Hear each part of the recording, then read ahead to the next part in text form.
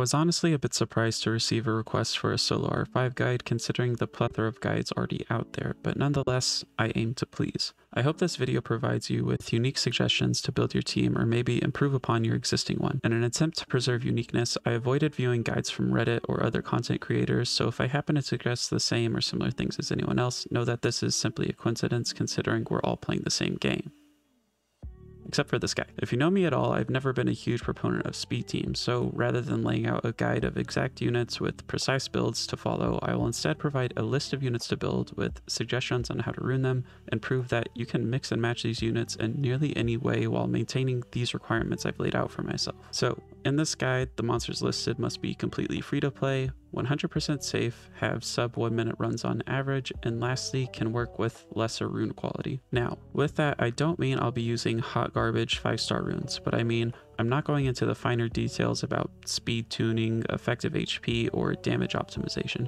I want it to be where you can throw on some reasonable runes from storage onto these monsters while still successfully meeting the requirements of the other guidelines I laid out for myself. With all that said, let's jump into the video. I'll list these monsters categorically, starting with damage doers. If you ever go to the monster collection and use the search feature, you might notice that the more filters you click on, the less monsters will appear. It can be a useful tool, especially when theory crafting teams. So when looking for damage doers, you want to choose ones that provide as much utility to the team as possible. So just as a quick example, here are some things to look for in a solo R5 team. Uh, common leader skills are good, increasing attack is probably the best buff you can look for. For debuffs, we like the decreased defense, we like the glancing, we like decreasing attack, we like the brands. I think those are the four main debuffs to look for. Unrecoverable is also a pretty good one.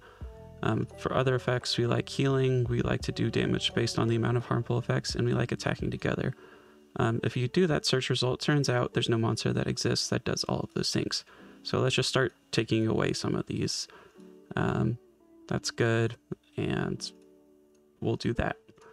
And it turns out there is a monster that does brand defense break and attack together and deals damage based on the amount of harmful effects. And he's a free to play unit that pretty much anyone can make. That's Kro. So Kro is one of the best damage doers you can possibly make for your solo R5 team. He brings a ton of utility in addition to just dealing his damage. His base HP isn't great, but his base defense is solid, his base attack is okay, and despite that, all of his damage output is really good. He's very easy to rune. Here is how mine is runed currently on just double energy blade, runes from storage. Main thing to look for is a decent amount of crit rate. This is actually higher than you need because more than likely you're going to run a crit rate leader skill, so really it's usually 19, sometimes it's 24. It depends what crit rate leader skill you're running, but reaching 100 crit rate is of course optional. I just like it because I use it against the dimensional predator boss, but at any rate, main thing to look for is to get a lot of damage on him with a fair amount of HP and defense so he can survive. Speed really doesn't matter at all, and if you're struggling to get any stat, you can try and look for that in your artifact main stats or through your sets like throwing energy or guard. You can also do ally runes, determination, enhance, tolerance, accuracy runes, all those things that help the entire team. As far as artifacts go, anything that gives them more damage, uh, co-op damage is good, additional damage isn't the best, but you know, it's not horrible. Co-op damage here, you can see I have skill 3 accuracy, which is nice for the brands, though I'm not too reliant on his brand in particular. He also doesn't need to be max skilled, so you don't need to throw devils on him. One exception to a damage doer that provides additional utility is Belegar, simply because his damage output is actually stupid. Generally in Summoner's War, the more hits a skill has, the smaller the damage multiplier will be. For example, Scarlet's skill 2 hits 8 times with a 100% multiplier per hit, whereas Crow's skill 3 hits 1 time but with a 720% multiplier. Baleygr's skill 3 has a whopping 400% multiplier for his 3 hits, which to give a little perspective, Ken, who also does 3 hits on his skill 2 and 3, only has a 110% and 285% multiplier respectively. This makes Baleygr a must-have for everyone and worthy of one of your best damage sets. Similarly to Kro and all the damage doers I'll discuss for that matter, is you want them ruined high damage with enough crit rate necessary to get them to 100% with whatever your leader skill of choice happens to be. So if you have no crit rate leader skill, you want them 100% crit rate. If you have a 19, you want 81% crit rate, that kind of thing. The only additional requirement for Baleygr as far as runes goes is that you need him to have a will set. Aside from Baleygr, your next highest damage output will come from damage based on the amount of harmful effects on the boss. This means that you need two things one being monsters that deal damage based on harmful effects, and the other being a plethora of debuffs. One free-to-play monster in particular is great for this, and that is Argen, because he provides four unique debuffs, two of which I consider necessary, the attack debuff and brand, while also dealing damage proportional to harmful effects. Lastly, he has self-healing on a skill 1, and self-sustain on your damage doers is great, since these guys will often be built more squishy because of the way you rune them. Continuing down the list of monsters that deal damage based on harmful effects, we have the Fire Here, I'll just say right out of the gate, bad, Water Archer bad. However, the Wind one, Ardella, not too shabby. She's great in a team that attacks together since her damage based on harmful effects is on her skill 1. Since you want to spam her skill 1 as much as possible, I think Triple Revenge is a solid build, but this is optional. If you get lucky with your skill ups, you could even leave her skill 2 unmaxed so she uses it less frequently. Overall, she's relatively easy to rune since her passive gives 25% increased crit rate, so you only need to find 60% from your runes. Again, even less if you're running a crit rate leader skill.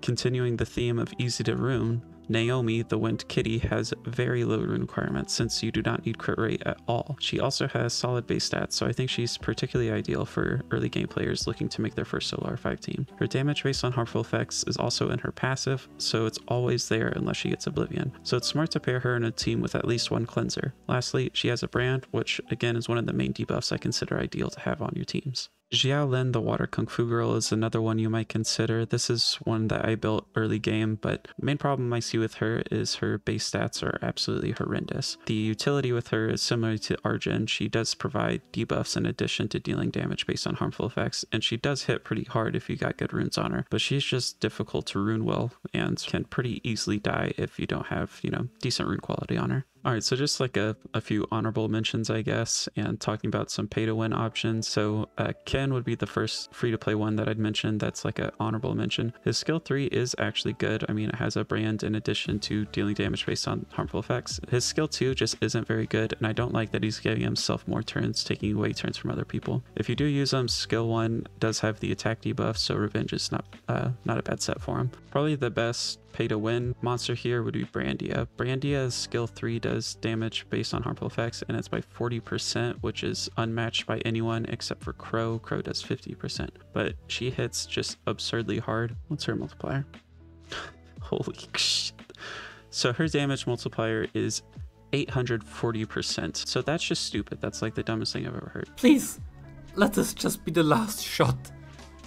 Yes, yes, yes, yes, yes, yes, yes, it worked, it worked. That's why she's uh one I wish I had. I could have got her from the eight year event, but I got a Shiho instead, and then Shiho I summoned from a scroll. So I summoned a dupe Shiho immediately after picking him from the event, because that's a typical Com2uS fuck you to your face. The rest of the monsters on this list I don't think are particularly special for this area. I think the next best one would be Melissa as an honorable mention. She does do, you know, a decent amount of damage and she's a twin, so she does co-op damage, which is really great. However, I find that Talia actually does more damage on the same build in general. That's just my own personal experience with Melissa. So after damage based on harmful effects, we have damage by attacking together as the next most strong mechanic that you can have in your solo R5 team. What makes it particularly strong is the fact that whenever you attack together, you're lowering the cooldown time of your monsters that get teamed up. So Roaq attacks with two other people, so those two people get to decrease their cooldown for their, you know, skill 2 or skill 3 that are generally the better skills on those monsters. For my Roaq's runes, you do not need Swift Will. That just happens to be what I have on them. Really, I wouldn't go Swift Will. I would do these ally runes, the fight, the accuracy, tolerance, all that stuff that benefits the team is really the better way to do it. I don't even use Roaq too often in uh, PvP, so I think the only team I do use is like Garo Raukford every once in a while, and I'll move my fastest Swift set on the Roaq because it's important to outspeed.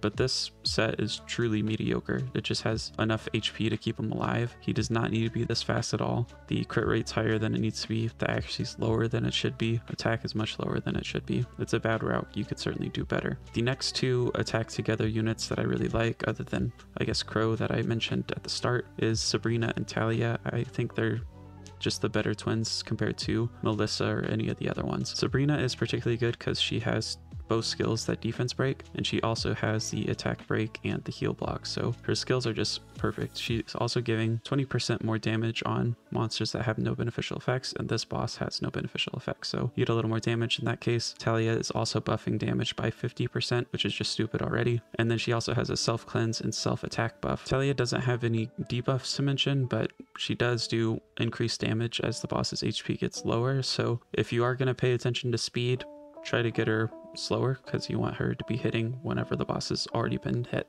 if that makes sense. Like she'll do more damage that way. All right, last on our list of damage doing types is defense ignoring damage, and that is Katerina as the prime free to play unit. The main issue with Katerina that I can see is that her base speed is like unreasonably high for no reason, and you need to pair her with Chloe. So just make sure that your Chloe is you know, fast enough to outspeed the Katerina to put up the invincibility. I think Chloe's just the best option. There's other monsters that provide invincibility. I don't know if anyone else does AoE invincibility, so you're just guaranteed to get Katerina invincible. So Chloe, I have double fight determination, just runes from storage like normal, and Katerina I have on a Rage Will set that is, I mean, truly mediocre. Even with my crit rate lead, I don't have 100 crit rate, but still my solo R5 team works just fine. Also, like no defense, no HP, so if she dies, whatever. I will say I do pair Katerina with Baleygr in general because if she dies, then Baleygr gets stacks, so you know, that's nice. All right, I think next I'll discuss healing. And just like with damage doers, I think you should look for people that heal in addition to something else, whether it be heal and deal damage, heal and provide buffs, heal and cleanse,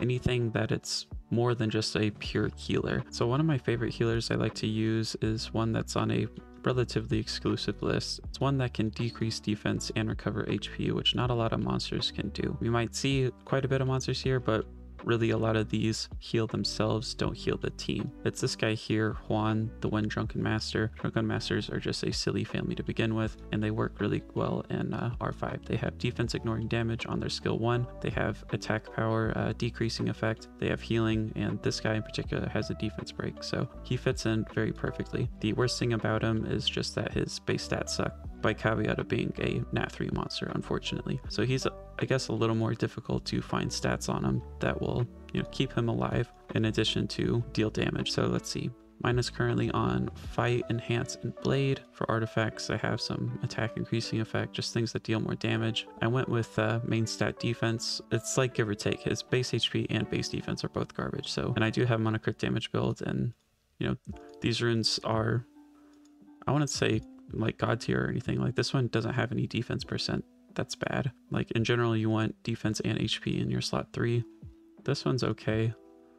This one's honestly kind of bad. It gives them more damage. And this one's really bad, but that's what I got on him. I also used the light one, which similarly does uh, defense ignoring damage, has healing, but he doesn't have the defense break that the wind one does. So another one that we saw on that list was Hwahee, which again has a defense break in addition to a glancing hit on the skill one. She has healing and two different skills that increase the attack power, which is great because the attack buff is probably the most necessary buff on your team. She does good chunk of damage on that skill three and uh, since it's all being dealt on the boss, it's it's really nice. So I would look for just ruining her as much attack as you can. I have mine on a crit damage build, not on purpose. It's just I'm out of slot four attack runes, so I have slot four crit damage. She's not 100 crit damage, which would be ideal. Uh, she's relatively low accuracy, which isn't great, but she works fine. So Fran, I think, is one of everyone's go-to budget monsters that everyone can get from events. However, I do think she has a directly better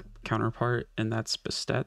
So if you haven't owned Bastet, I would replace Fran with Bastet. Bastet doesn't heal, but she has so much more debuffs. You know, she's got the defense break, the slow, the glance, heal block, I think. The shield is really nice, and also it's a three turn attack buff instead of a two turn. So Fran's skill two is only a single target cleanse, which really isn't that special. Her skill three is only two turn attack break, and then her skill 1 is a good skill 1 with the attack debuff on skill 1, but for the most part, I think she's just okay, especially early game because you have very easy access to her, but if you have a stat that's just like a direct replacement, that's way better. So my Konamiya currently isn't ruined. I generally use Konamiya in PvP more so than R5 to, uh, you know, boost my Lucian to one-shot a team, but at any rate, you can throw on whatever runes, speed, HP, defense, I'm not speed. Just do HP, defense, defense, or defense, HP, HP, or any combination of that. You just want her on a tanky support build. You don't need a high attack or anything like that. Good resistance would be nice. She's pretty solid with her kit because it's a heal and a cleanse on a very low cooldown, only three turns. So if she's attacking together, she gets it, you know, in two turns. So you have that cleanse very frequently. She's also giving someone an attack buff. The skill one is completely useless though. So another pay to win uh, healer that you might own is Anavel. She's got a good three turn defense break and uh, speed debuff on her skill 3, a very powerful cleanse and heal on skill 2, but unfortunately a useless skill 1 in this particular case. It just, you know, would be a little bit of damage, but the, the sleep will do nothing. As far as runes go, really you just want to pack on as much stats as you can. Speed isn't important. Most important things are HP, attack, defense, and resistance. I guess some accuracy too for the defense break, and that's uh, that's about it. You could go full ally runes. Colleen is an old school one. We have double fight will paired with uh, Baleygr so the goal here is to actually die. So that's why there's no artifacts and very squishy, only plus 71 defense, plus 2000 health, because you want her to die and then Jansson, the Dark Viking, to bring her back, and then she'll give the attack buff to Baleygr, and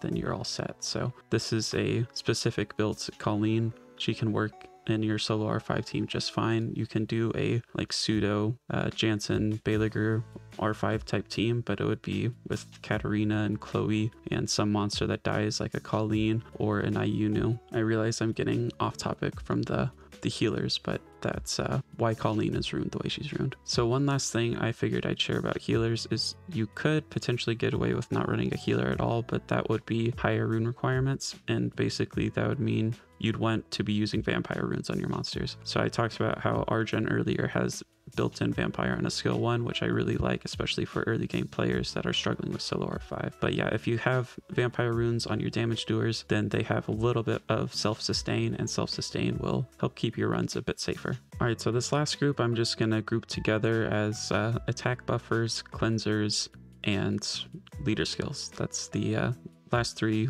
things I think that I need to discuss. So one in particular that I really like is Jamie because he cleanses and does the attack buff in addition to providing some damage. Mine is ruined on absolute garbage. One problem with Jamie is again base stats as a nat 3 monster. He has like no health and no defense. So to get him on the damage build is kind of premium.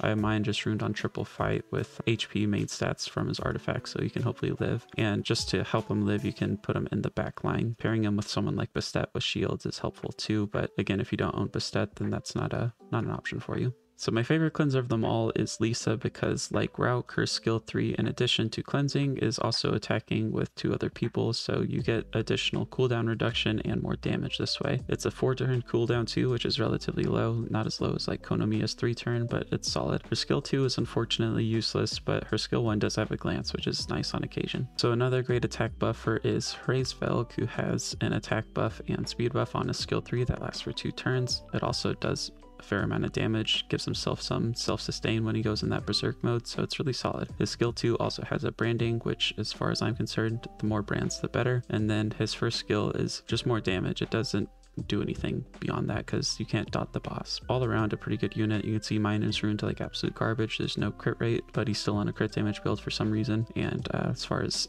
sets goes, I am on fight, determination, and accuracy. So I guess he does have a decent amount of stats on some of these. That one's not even maxed, and those are low rolls. That's a minimum roll grinded, and that's probably a minimum roll grinded. The speed don't care about, and like I said, the crit damage is kind of useless without any uh, any crit rate. So very mediocre Hraesvelg overall. I'm sure you could do better. So one leader skill you're probably gonna need, especially if you're early game, is the crit rate leader skill, and I think the best one is Hwa. You could do like a Theomars, which has a higher crit rate lead, and a defense break. Hwa has a uh, slow debuff, which isn't that great, but Hwa does do just like a crap ton of damage, so at least there's that. Um, that'd be like the only thing I'd say is kind of a mediocre monster because she's only here for the crit rate leader skill and the damage, but unfortunately, there's just not a lot of great uh, crit rate leader skills. Let's do this. Like Juno's not good.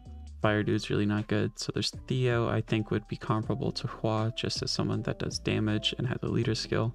Doesn't provide much aside that. Um, no one owns Xerath. Hua Dam is bad. Pang is okay, but I think Hwa has uh, more damage than Pang, and extending the debuffs doesn't matter since the boss cleanses himself after the jump, and the rest of these monsters nobody owns. I guess this was Hall of Heroes, but he's bad, so he's just strictly the leader skill. So I'd rather have the leader skill and damage. So I think the best two are Hwa and Theo, honestly. About this girl? I guess Lupinus has uh, potential to be pretty good too. Seems okay. So at this point, I think I've given you all the information that I can. So the last thing to do is just a proof of concept. So I will show this is the team that I currently run and it's not totally free to play. I have the Bastet, but I figured I'd show it anyway so y'all can see the average time and just quick rundown of all the runes. Double fight blade Tien Qin, pretty mediocre. Again, everything is just runes from storage for the most part. I think my Lisa actually has some decent fight runes on her. Not max grinded, but I also have good Endure runes because I farm dragons for Violent, but it drops Endure runes. My Bastet is runed well because I use her on defense, but again, I'm going to take her out of this team anyways, and she doesn't even need to be ruined like that to do well here. Naomi, like I said previously, is very easy to rune, no crit rate required. Roaq is ruined bad, shouldn't be ruined like this, but it works fine. Kro, slows can be, doesn't matter. Sabrina and Talia are my two damage doers that I do have on Vampire. Everyone else is ruined on just random stuff, but they provide, you know, a little more self-sustain because this team has no healing other than Huan, which isn't a ton of healing, but he gets more damage, which is nice. Argen's got the self-healing right. Lauren is a nice little defense break and an attack buff leader skill, which is cool. I'll have her on fight runes. Jamie on more fight runes. Totally garbage. Probably move him to the back, but whatever. Chloe over here to go before the Katerina, paired with Baleygr. My Ayunu I actually use on offense occasionally in a suicide team with like Samoth and Perna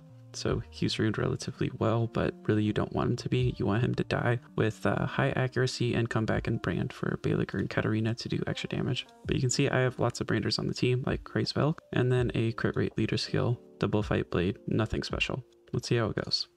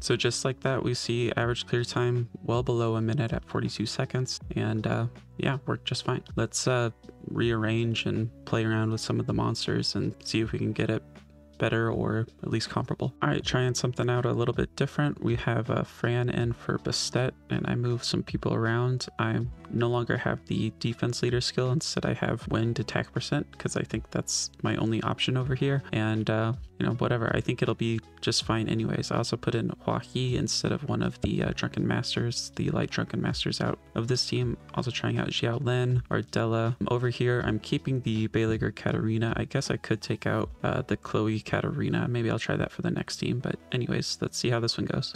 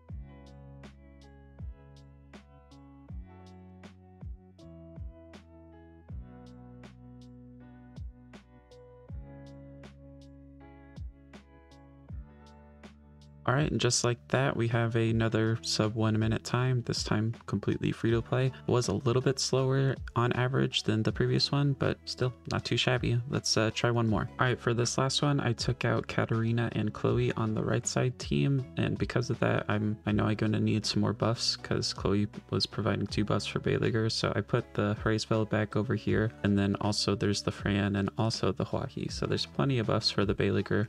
Over here, I added Melissa, so we're running three twins in this team. The only healer is going to be the Drunken Master, but the twins are ruined on Vampire, so hopefully that works out. And then over here is mostly the same. It's the uh, damage dealt attacking together combination with Ardella using that skill one that does damage based on harmful effects. So we'll see how it goes.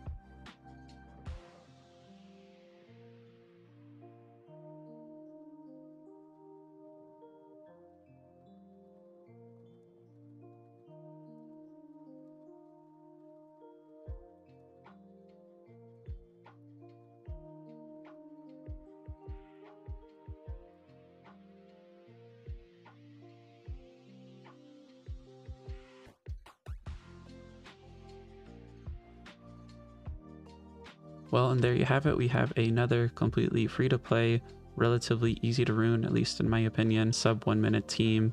We see we got an average clear time of 45 seconds, a best clear time of 39 seconds. So it is kind of interesting to see that all three teams were, you know, around 45 seconds as their average clear time. No failed runs and 30 attempts between the three teams. So I think uh, think this is solid. When it comes to solo R5, just build units that you think are good for it like the ones I mentioned in this video and maybe in the future new ones will come out and mix and match them and you'll find a team that works. And once you find a team that works I would just stick with it. Like to me shaving off another few seconds is just unnecessary you know? But that's just my personal opinion. I don't try to go for speed teams. I just like what's safe what works and I I stick with it and don't mess with the runes after that. That's all for this video. I hope you all enjoyed it. Please smash like, subscribe, all that kind of thing. If you want to become a channel member and join my Discord, you can click the join button down below. And uh, that's it.